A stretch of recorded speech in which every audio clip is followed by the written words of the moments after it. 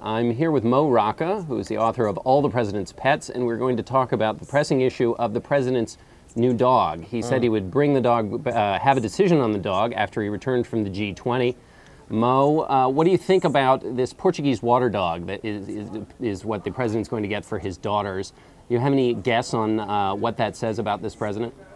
Well, it's an extremely friendly dog. It's very, it's, it's a very soft dog. It is hypoallergenic, and we've heard over and over again that first daughter Malia has a dog allergy. Of course, no dog can be completely hypoallergenic. She's going to need to spend some time with this Portuguese water dog, with this PWD, um, a, an acronym we're going to be hearing a lot these days. And apparently, the PWD did make a visit to the White House already.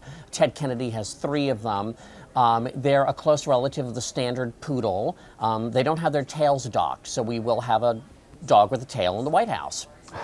And and you know, there's a there's a story that President Bush tells about when uh, Vladimir Putin met his little dog Barney, uh, and and said it looked like a Monopoly piece. Then when Putin uh, hosted Bush over in Russia, he showed his enormous hound to him and thought this was a you know a sort of uh, view of the differences between the way the two of them saw statecraft. Yes, What and if- Bush, loo- Bush looked into the eyes of the hound and saw Lassie. What do we know? In, in, in your book, you talk about you know pets throughout presidential history.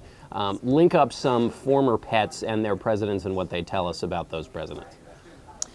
Um, well, I mean, you know, it, it, President Clinton, for instance, um, got a Labrador Retriever in the darkest days of his presidency, and that was the number one breed for 17 years running. So, you know, I'm not saying that he didn't like Buddy, the the Labrador, but um, the uh, um, but I think that a lot of the time they use them clearly for public relations stunts. I was kind of hoping that Obama would go out of the box and and make like one of our pre-World War II presidents and and uh, get a different kind of pet. Um, I was pushing for a vicuña. Everybody remembers Dwight Eisenhower's chief of staff Sherman Adams and the scandal over the gift of a vicuña coat from a lobbyist, and that really tarred the name of the vicuña for a long time. I thought it would, this would be a nice time to bring that back. And vicuñas are extremely soft. They're um, a relative of the alpaca. Uh, they only have to be shorn every three years. They produce about a pound of wool for each of those years and make beautiful coats. So it'd be like the Um, White House garden, where you'd actually be able to produce something that would then be useful for the president. Exactly, exactly. And, and, and with that in mind, I was thinking of Lincoln's goats, Nanny and Nanko, and some working animals because of the economic crisis we find ourselves in.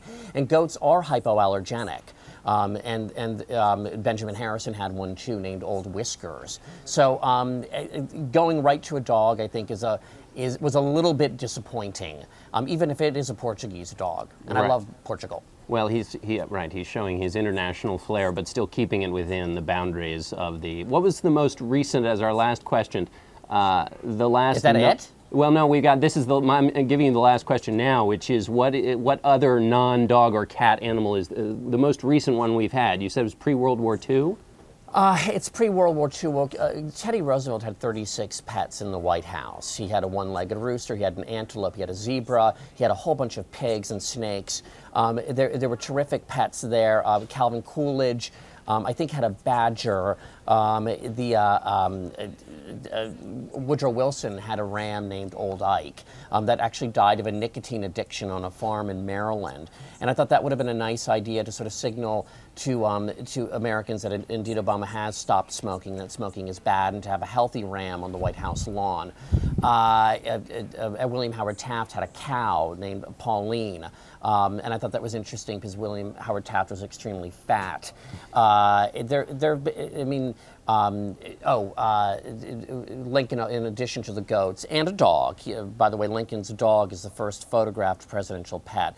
It was a dog named Fido, um, a mutt, wonderful, lovely dog. Um, and after Lincoln's death, a, a drunk from Springfield, Illinois, broke a bottle and stabbed the dog with it and killed it. So it's a horrible story.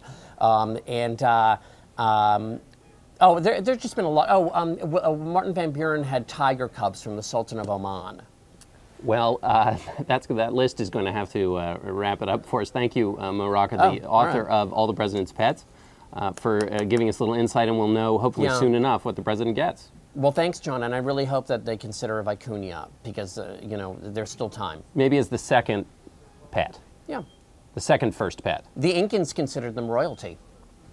Thanks, Mel. Thanks.